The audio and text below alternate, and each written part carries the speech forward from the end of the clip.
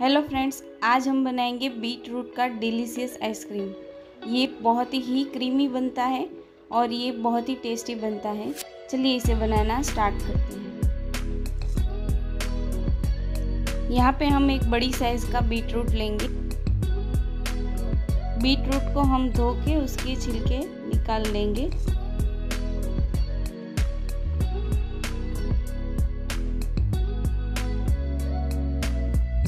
उसके बाद यहाँ पे हम इसे कद्दूकस कर लेंगे।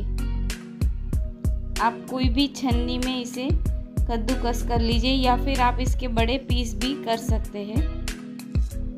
बीट रूट हमारे हेल्थ के लिए बहुत अच्छा होता है। बच्चे जनरली इसे कम खाना पसंद करते हैं तो इस तरह से हम इसे आइसक्रीम बना के खिला सकते हैं। ये एकदम ग्रेट हो चुका है। अब इसे हम स्टीम कर लेंगे।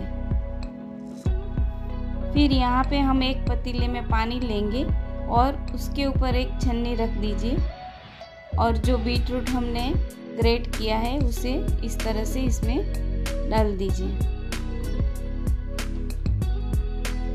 लगभग 15 से 20 मिनट तक हम इसे इसी तरह स्टीम करेंगे। बीट रूट जब तक स्टीम होता है, तब तक हम यहाँ पे दूध को भी उबाल लेते हैं। मैंने यहाँ पे दो बाउल फुल क्रीम दूध लिया है। ये दूध जब तक गर्म होता है, तब तक यहाँ पे हम एक बाउल में दो से तीन चम्मच ठंडा दूध लेंगे। इसमें हम दो चम्मच कस्टर्ड पाउडर डाल देंगे। आप चाहे तो कोई भी फ्लेवर का आइसक्रीम का पाउडर भी डाल सकते हैं। यहाँ पे वेनिला फ्लेवर का मैंने कस्टर्ड पाउडर यूज़ किया है। इसे हम अच्छे से मिक्स कर लेंगे। अगर हम आइसक्रीम का पाउडर यूज़ कर रहे हैं तो थोड़ा ज़्यादा यूज़ करना है।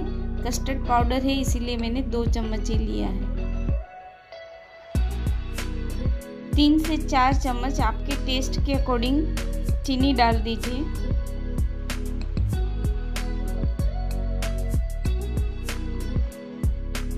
यहाँ पे हम दूध को अच्छे से गरम कर लेंगे।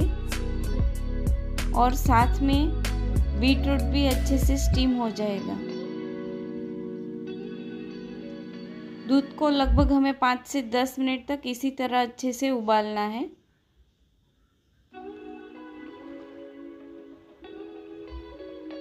और थोड़ी देर के बाद इसमें हम जो कस्टर्ड पाउडर वाला दूध रेडी किया है, वो डाल देंगे।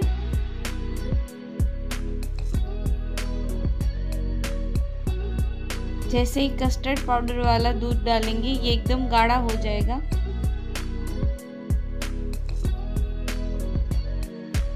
फिर एक से दो मिनट तक इसी तरह अच्छे से उबालेंगे। गैस की फ्लेम को हम मीडियम कर देंगे और यहाँ पे जो बीट रूट स्टीम करने के लिए रखा है, वो भी चेक कर लेते हैं। आप इस तरह चम्मच की मदद से देख सकते हैं। अगर ये कच्चा लगता है तो इसे थोड़ी और देर हम स्टीम करेंगे।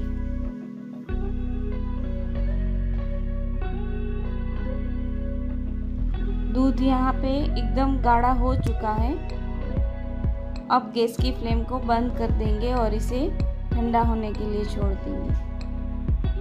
बीट रूट भी एकदम स्टीम होके रेडी हो चुका है। ये एकदम पक गया है।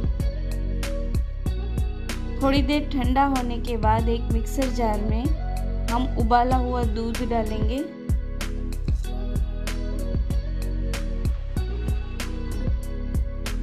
फिर इसमें दो बड़े चम्मच क्रीम डालेंगे। मैंने यहाँ पे फ्रेश क्रीम यूज़ किया है। आप चाहे तो अमूल का भी क्रीम यूज़ कर सकते हैं। स्टीम किया हुआ बीट डाल देंगे।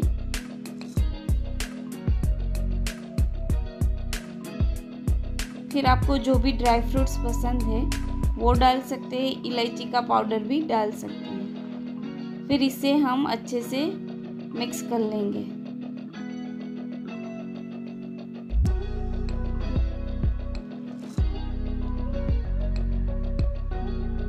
ये एकदम ग्राइंड होके रेडी हो चुका है। देखिए, एकदम क्रीमी हमारा बीट रूट का आइसक्रीम बनने वाला है। इसे हम एक एयर टाइट कंटेनर में डाल देंगे। और इसे अच्छे से कवर करके फ्रीज़ कर लें। आइसक्रीम को हमें दो से तीन घंटे फ्रीज़ करना है, उसके बाद ये बनके रेडी हो जाएगा। आइसक्रीम हमारा लगभग बनके रेडी हो चुका है। एकदम रेड कलर का हमारा बीट रूट का आइसक्रीम बनके रेडी है। ये आइसक्रीम में आप कोई भी फ्लेवर ऐड कर सकते हैं। आपको इलायची पसंद है तो आप इलायची डाल सकते हैं। चॉकलेट फ्लेवर पसंद है तो चॉकलेट या फिर वेनिला का। ये बहुत ही टेस्टी होता है और एकदम झटपट बन के रेडी हो जाता है। बन के रेडी है बीट रूट का क्रीमी आइसक्रीम। मेरा ये वीडियो आपको कैसा लगा कमेंट बॉक्स में ज़रूर बताइए। चैनल को अब तक आपने सब्सक्राइब नहीं किया तो सब्सक्राइब ज़रूर करिए और बेल आइकन को दबाना ना भूलिए।